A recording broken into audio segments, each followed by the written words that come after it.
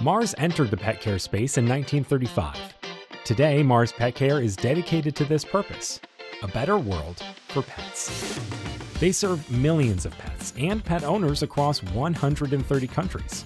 Across the pet care data and analytics platform, Mars Pet Care works with a unique combination of data with autonomous databases and differing priorities. Databricks helps determine which data to decentralize, what to federate, and where to give autonomy in order to serve all business users. Unity Catalog allows them to create an ecosystem of data around each pet and their lifecycle.